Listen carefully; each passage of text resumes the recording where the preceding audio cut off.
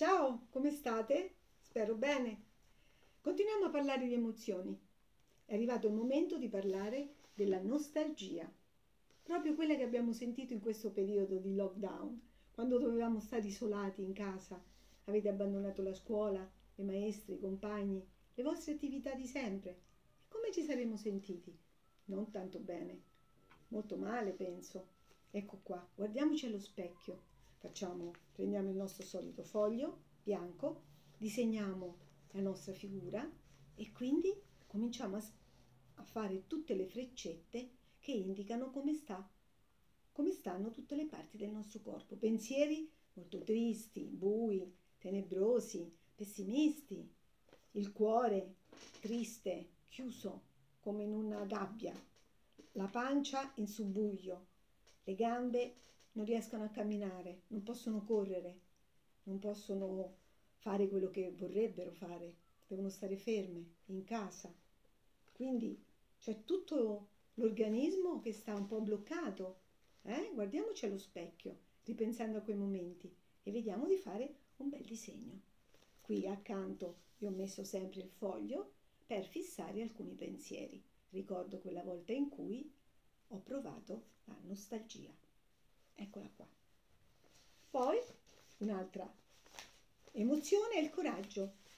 Dopo la nostalgia, adesso prendo coraggio, mi organizzo. Ecco qua disegnate, qui è stata disegnata una bella bimba, tenuta sportiva, con la speranza di correre, andare in giro, vedete pantaloncini corti, scarpe comode, pensieri creativi, eh? positivi, costruttivi. Eh? C'è tanto coraggio di affrontare il mondo che mi aspetta. Anche qui il foglio per scrivere i nostri pensieri.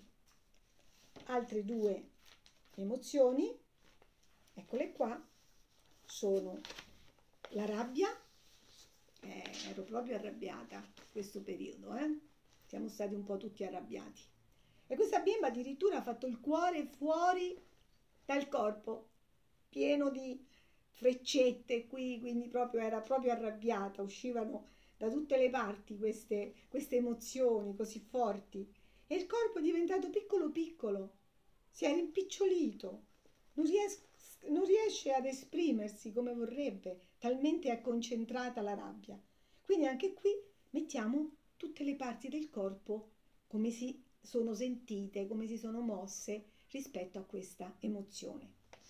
Qui un'altra emozione che ci fa sentire un po' meno male, però sempre un po' tristi, è la delusione.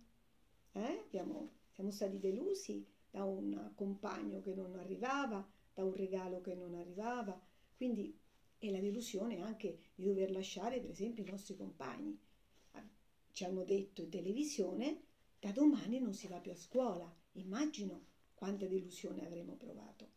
Abbiamo provato perché io non, ci, non ci dovevo andare a scuola. E quindi ecco, eccoci qua. Anche questo da fare un bel disegno e arriviamo alle ultime due emozioni che sono quelle che ci fanno star bene per augurarci un buon rientro alla vita normale, il benessere e la speranza. La speranza la dobbiamo avere, pensare che a settembre andremo a scuola, anche se avremo degli accorgimenti, dovremo portare la mascherina, rispettare le distanze, però è tutta un'altra cosa vedersi e poter parlare insieme, stare insieme e quindi questa speranza ce la dobbiamo avere nel cuore. Ecco qua l'ultima emozione. Poi vi ricordate le buste che vi avevo detto di usare? Ne dovevamo prendere 7, 2 cinque sono servite per mettere i sensi, per mettere le paroline e il, i piccoli testi che avete fatto riguardo ai sensi. Qua invece mettiamo le emozioni che ci fanno star bene e le emozioni che ci fanno star male. Abbiamo fatto due belle buste e dentro ho messo sia i bigliettini colorati con tutti i nomi delle, delle emozioni. Qui ne potete mettere quante ne volete.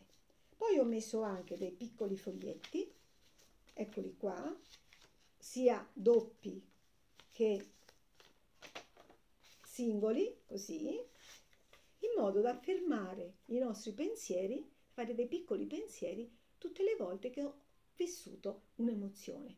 Se sono emozioni che mi hanno fatto star male, le metto nella sua busta, nella busta di riferimento. Se mi hanno fatto star bene, le metto qua, da quest'altra parte.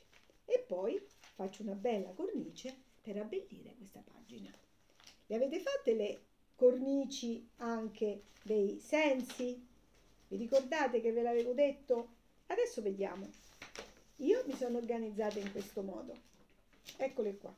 Alcune le ho colorate, disegnate con dei fiori, con delle, delle linee spezzate così. Altre ho preso dei pezzettini di carta velina a forma di luna, a qui ho preso del, dei pezzettini di carta con le figure geometriche, poi le stelle, ho messo la luna e mi sono un po' sbizzarrita. Qua ho messo sempre pezzettini di carta per abbellire tutte queste paginette, in modo da formare un bell'album tutto intero. Quest'album finito, adesso lo chiudo, vado a trovare la prima pagina, eccolo qua, vedete come è diventato, le 10 pagine sono finite, le potete avvolgere come volete, fino ad arrivare, eccola qui la prima pagina, la foderina, ve lo ricordate? Il mio percorso di vita e veramente qua dentro c'è un percorso di vita molto importante, tante opportunità da colorare, quindi più è colorato e più rispetteremo il titolo che c'è scritto davanti.